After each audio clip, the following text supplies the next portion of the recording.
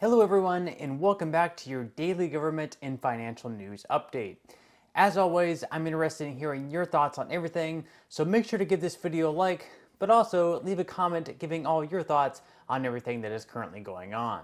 Okay, so it's the 4th of July. Happy Independence Day to everyone. This is the day we can celebrate our heroes fighting for this country for our independence and freedom from Great Britain. And it's really amazing if you think about it, being able to take on and defeat such a strong military and then being able to expand our country from 13 colonies to 50 states, expanding our borders to the Pacific Ocean. Of course, this country has not been perfect. We have definitely had our flaws and morally wrong actions such as allowing slavery to take place early on. But I think the good that this country has done for the world definitely should not be overshadowed by its moral evils, and it's definitely a day that should definitely be celebrated. So, with that said, prices might be a good bit steeper this year to enjoy the 4th, but try to get out, have fun with your friends and family, and most of all, stay safe and try not to lose any fingers shooting off fireworks. Okay, so the next presidential election may still be two and a half years away, but it's really going to begin heating up. Between whether or not Donald Trump is going to decide to run again, there are certainly a lot of questions. If Trump does decide to run again, what does that mean for the Republican Party? Will Republican voters once again vote for him to win the primaries, or perhaps will someone like Florida's Governor Ron DeSantis come out on top? Some have argued that moderates are so turned off by Trump that even with President Biden's failing economy, they might still vote for Biden just to vote against Trump. And so they argue it might be better to go with a fresh face such as Governor DeSantis. In recent polling, however, Donald Trump has been beating DeSantis by large margins, with the Emerson College polls having Trump taking 55% of the vote and DeSantis just 20%. Some of the polls taken in late June by YouGov had the margins even slimmer, with Trump only receiving votes in the mid 40s. Overall, that's still a pretty wide margin though, but with a couple of years left to go, DeSantis certainly has time to fill in the gap.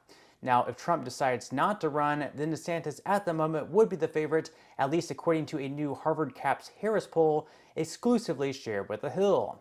In that hypothetical poll, where Trump does not run, DeSantis took 36% of the vote, with former Vice President Mike Pence being in second place with 17% of the vote. Ted Cruz came in third. So, just a quick poll for my YouTube audience if you were going to go vote today, who would you like to see win the Republican nomination to face off against President Biden? Of course, there are even huge question marks on whether or not Joe Biden will even win the Democratic nomination or if he'll even decide to run again.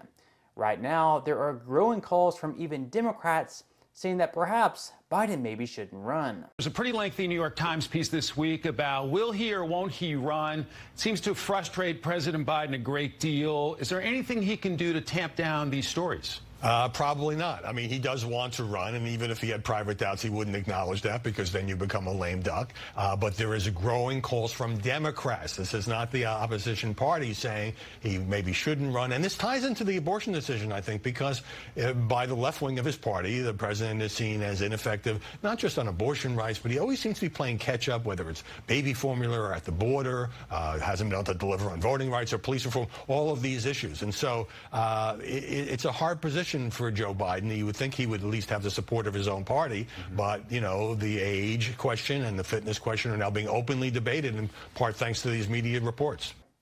Other than Democrats, former CEO of Amazon Jeff Bezos is the latest one to be critical of the current president.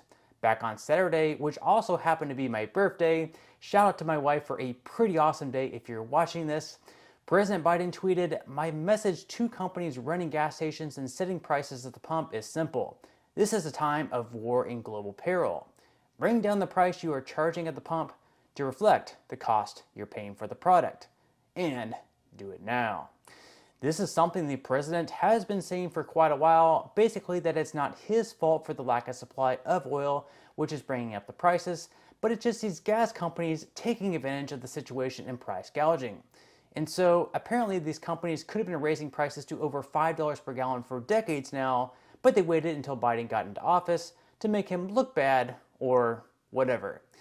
Anyways, to that, Jeff Bezos replied saying, Ouch, inflation is far too important of a problem for the White House to keep making statements like this. It's either straight ahead misdirection or a deep misunderstanding of basic market dynamics. And he's completely right. It's pretty basic economics. And if you're going to artificially lower the supply of oil and gas by shutting down the future production of domestic oil, then it's very obvious what's going to happen to the price. If I decide to start growing apple trees to sell apples, starting out, my price is probably going to be pretty competitive in the market. After all, I'll be competing with what customers can find in the store, plus the demand will still be lower than the overall supply. But let's say later on, I decide I'm going to tell everyone else that they can no longer grow apples because of the damage they're doing to the environment, and only I, maybe, can continue to grow apples. What then happens is the supply of apples is artificially lowered, the demand stays the same because people still want to buy apples, but since we have multiple people fighting over my limited supply of apples, I'm left with the opportunity then, as well as the grocery stores, selling them to then raise the price. Why sell for $1 per pound when the supply of apples I have can't keep up with the demand? And that's what President Biden has been doing with gas, shutting down pipelines in the production of new oil domestically, but getting mad at gas stations for having higher prices. Whatever your politics are, we cannot ignore hundreds of years of economic research. If you argue to be the party of science, then let's use this research to the best of our abilities. Okay, so now moving on to some news and stimulus checks. If you're a taxpayer in the state of Colorado, you should be receiving some extra money pretty soon. At some point in August or September, you should be receiving a stimulus check in the mail of either $750 if you file your taxes as being single, or double that of $1,500 if you're a joint filer. Now, back in April, a bill was signed into law in Colorado that would give taxpayers an estimated $400 for single filers and double that of $800 for joint filers. But because of the state's strong economic performance, they had low unemployment. They actually decided to increase the amount up to $750 for single filers and double that for joint filers at 1,500. Again, these payments should be sent out in August or September, and it's very possible that other states also decide to follow suit, especially with this extra inflation. More than likely, these payments will take place in blue states such as California, who is also going to be sending out payments, with red states holding the belief that extra money flowing into the hands of Americans is very likely just to cause even more inflation. But on that note, I'm going to go ahead and wrap up this video.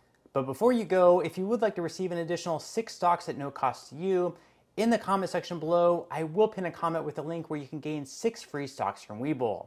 Now, what you'll need to do once you click the link is to first open an account. Then, once you have your account open, you'll need to make a deposit of at least one penny. Additionally, if you activate Webull Crypto and complete at least one trade, you'll then be able to claim $5 of Bitcoin or, of course, any other cryptocurrency of your choosing. Once you receive the free stocks, you can either sell them and transfer the money to your bank account, sort of creating your own stimulus, or hold them and watch them potentially grow over time. That is, of course, completely up to you. But on that note, I'm going to go ahead and wrap up this video. If you enjoyed the content in today's video and you would like to see more like it, I would encourage you to give this video a like, subscribe to my channel, and make sure to ring the notification bell. That way, you will be the very first to be notified when I do release future videos. And until next time, have a wonderful 4th of July, stay safe, and I'll see you in the next video.